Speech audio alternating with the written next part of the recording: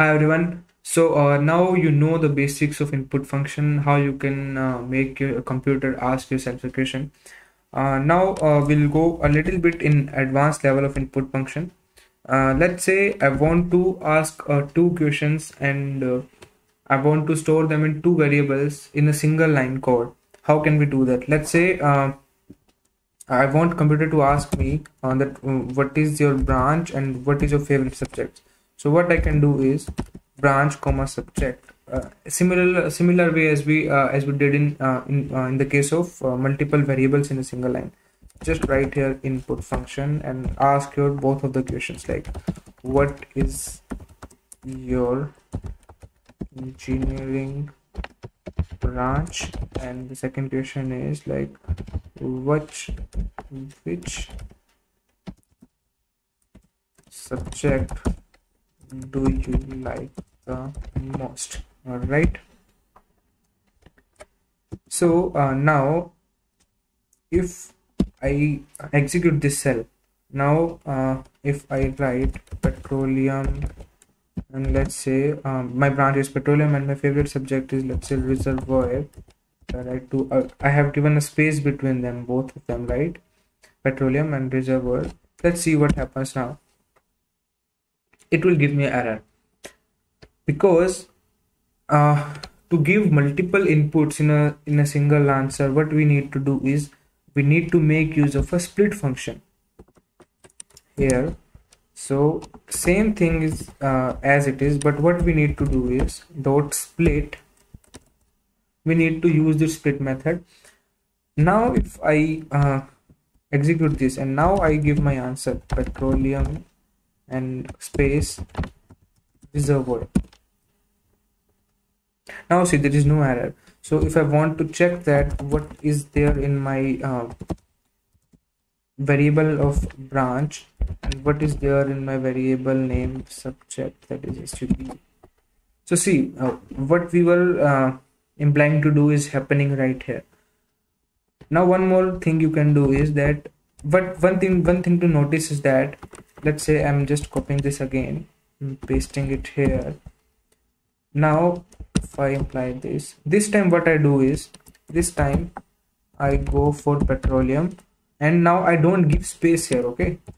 Petroleum uh, reservoir. This will again give me error. Because there is no space. So a computer is unable to identify that unable to uh, identify that there are two inputs i want to give because i have given just one input. Because uh, according to computer what is programmed by default is that if i if i'm giving space after using this split method it means that there are two answers one before the space one and one the second the after the space bar so use of a space is important here right? One question uh, that uh, that might arise in your mind is why we want why we are separating our two answers uh, with space only. Why can't we uh, go for any other character? Letters like let's say comma is there. Com comma can be a good uh, alternative to space right? So we can uh, do that. Let's say i'm copying this again. What you need to do is see the space bar is initially uh, programmed by default that if we are separating by space it means there are two answers we can change that by using uh, some by changing a few changes in split function only. What we can do is inside the split, parentheses of split method just write uh, the character you want to separate with. Let's say I write, comma. You just you have to write this comma in these uh, single quotes only or double quotes you can use also. Now when I give my two answers, I need to separate them with a comma. See petroleum and let's let's say this time I change my branch okay civil and uh, after comma now my second answer is let's say my favorite subject is strength of materials SOM now if I if I print if I print branch see it is showing civil. And now if I print my subject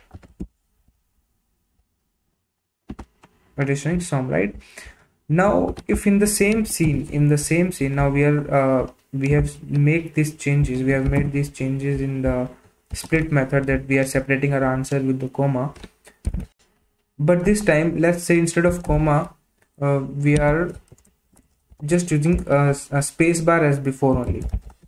So this will give me error right? Um, because see it is saying that we have expected two values but you have only got one there because now we have uh, make these changes here in this in, in the split function. So what it is uh, what we have instructed the computer that whenever we have when whenever we have used the comma it means the second answer is following the first one.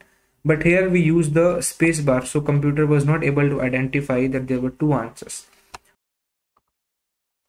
Now uh, here's the little assignment for you. Assignment number four.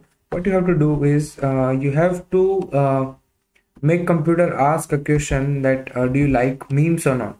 Okay and you have to store this uh, question in an input in a variable called quest that is that stands for question basically. And then uh, print a statement with your response using string formatting. Remember you have to use string formatting here to give the output. Uh, whatever your answer is uh, in case of affirmative you can use yes i like memes. You have to make uh, this statement printed and if you don't then you just have to write uh, no i don't like memes so you have to make use of input uh, function and uh, string formatting both of them in this scenario. Please go ahead with these assignments and tag us on linkedin. And in case of any doubts you can anyways contact with me on linkedin. Thank you. So this is all about this video. Um, I'll see you in the next lecture. Thank you.